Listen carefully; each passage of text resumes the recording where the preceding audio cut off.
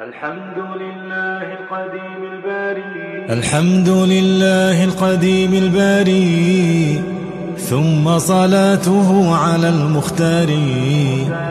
وبعدها كسيرة الرسول منظومة موجزة الفصول. مولده في عاشر الفضيل ربيع الأول عام الفيل. لكنما المشهور ثاني عشره في يوم الاثنين طلوع فجره. ووافق العشرين من نيسان وقبله حين أبيه حان وبعد عامين غدا فطيما جاءت به مرضعه سليما. حليمة لأمه وعادت به لأهلها كما أرادت. فبعد شهرين انشقاق بطنه. وقيل بعد أربع من سنه. وبعد ست مع شهر جاي وفاة أمه على الأبواء. وجده للأب عبد المطلب بعد ثمان مت من غير كذب. ثم أبو طالب العم كفل خدمته ثم إلى الشام رحل وذاك بعد عام اثني عشر وكان من أمر بحير ما اشتهر. وسار نحو شام أشرف الورى في عام خمسة وعشرين أذكرا لأمنا خديجة متجرا. وعاد فيه رابحا مستبشرا. فكان فيه عقده عليها وبعده إفضاؤه إليها وولده منها خلا إبراهيم. فالأول القاسم حاز التكريم. وزينب رقية وفاطمة وأم كلثوم لهن خاتمة. والطاهر الطيب عبد الله وقيل كل اسم لفرد زاهي والكل في حياته ذاق الحمام. وبعده فاطمة بنصف عام. وبعد خمس وثلاثين حضر بنيان بيت الله لما أندثر. وحكموه ورضوا بما حكم في وضع ذاك الحجر الأسود ثم وبعد عام أربعين أرسلا في يوم الاثنين يقينا فانقلا. في رمضان أو ربيع الأول وسورة تقرأ أول المنزل. ثم الوضوء والصلاة علمه جبريل وهي ركعتان محكمة.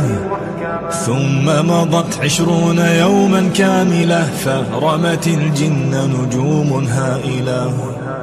ثم دعا في رابع الأعوام بالأمر جهرة إلى الإسلام وأربع من النساء واثنا عشر من الرجال الصحب كل قد هجر.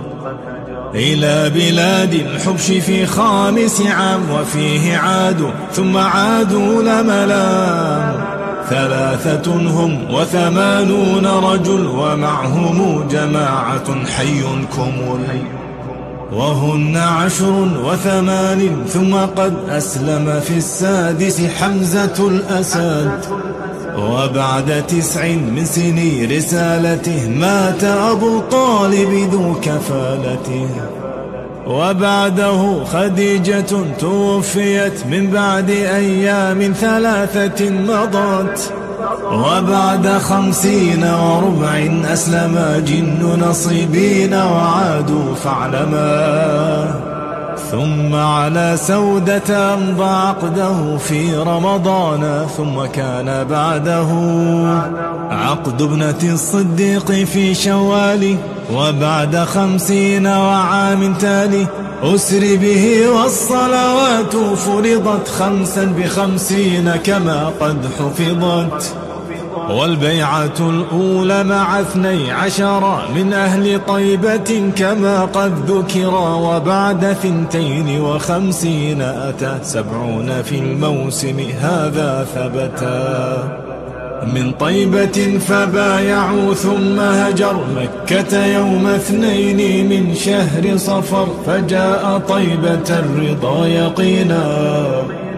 إذ كمل الثلاث والخمسين في يوم الاثنين ودام فيها عشر سنين كملا نحكيها. أكمل في الأولى صلاة الحضر من بعد ما جمع فاسمع خبري. ثم بنى المسجد في قباء ومسجد المدينة الغراء. ثم بنى من حوله مساكنة ثم أتى من بعد في هذه السنة. أقل من نصف الذين سافروا إلى بلاد الحبش حين هاجروا. وفيه آخى أشرف الأخيار بين المهاجرين والأنصار. ثم بنى بابنة خير صحبه وشرع الأذان فاقتدي به. وغزوة الأبواء بعد في صفر هذا وفي الثانية الغزو اشتهر إلى بواط ثم بدر ووجب تحول القبلة في نصف رجب. من بعد ذا العشير يا إخواني وفرض شهر الصوم في شعبان والغزوة الكبرى التي ببدر في الصوم في سابع عشر الشهر. ووجبت فيه زكاة الفطر من بعد بدر بليال عشر وفي زكاة المال خلف فدر وماتت ابنة النبي البر. رقية قبل رجوع السفر زوجة عثمان وعرس الطهر فاطمة على علي القدر وأسلم العباس بعد الأسر. وقينقاع غزوهم في الإثر وبعد ضحى يوم عيد النحر وغزوة السويق ثم قرقرة والغزو في الثالثة المشتهرة. في غطفان وبني سليم وأم كلثوم ابنة الكريم زوج عثمان بها وخصه ثم تزوج النبي حفصه. وزينبا ثم غزا إلى أحد في شهر شوال وحمراء الأسد. فالخمر حرمت يقينا فاسمعا هذا وفيها ولد السبط الحسن. وكان في الرابعة الغزو إلى بني النضير في ربيع أولا. وبعد موت زينب المقدمة وبعده نكاح أم سلمة وبنت جحش ثم بدر الموعد وبعدها الأحزاب فاسمع واعددي ثم بني قريضة وفيهما خلف وفي ذات الرقاع علما. كيف صلاة الخوف والقصر نمي وآية الحجاب والتيمم قبل ورجمه اليهوديين ومولد السبط الرضا الحسيني وكان في الخامسة اسمع وثقي الإفك في غزو بني المصطلق. ودومة الجندل قبل وحصل عقد ابنة الحارث بعد واتصل. وعقد ريحانة في ذي الخامسة ثم بنو لحيان بدء السادسة. وبعده استسقاؤه وذو قرد وصد عن عمرته لما قصد. وبيعة الرضوان أول وبنى فيها بريحانة هذا بينا. وفرض الحج بخلف فاسمعه وكان فتح خيبر في السابعة. وحظر لحم الحمر الأهلية فيها ومتعة النساء الردية.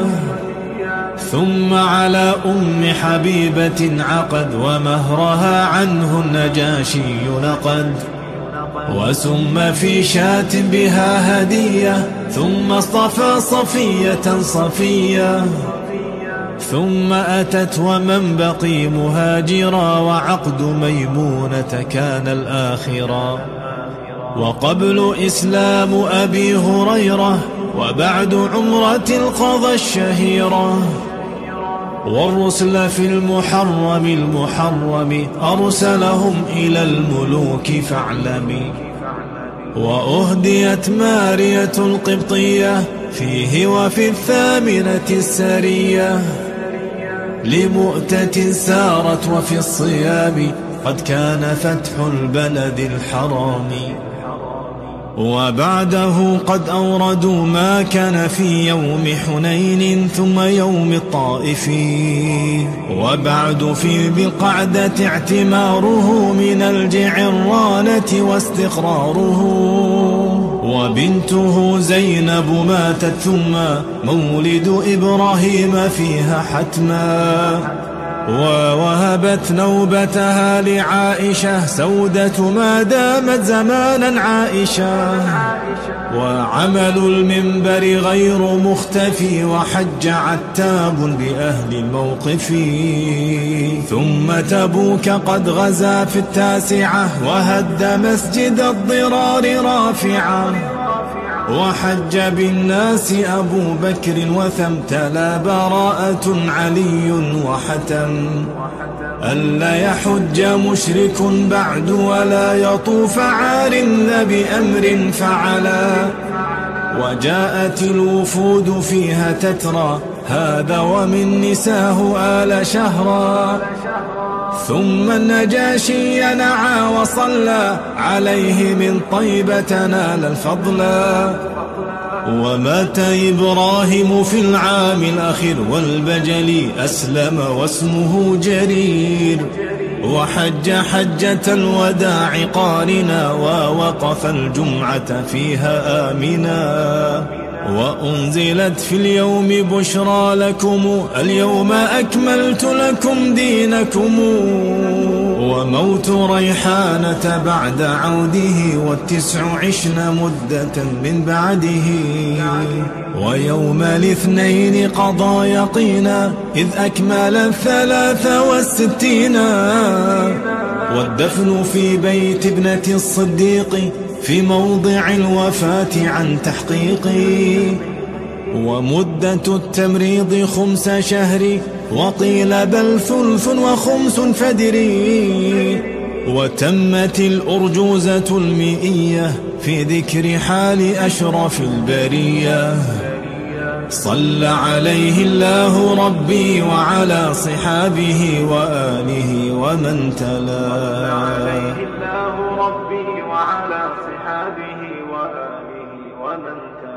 اللهم صل وسلم على سيدنا محمد.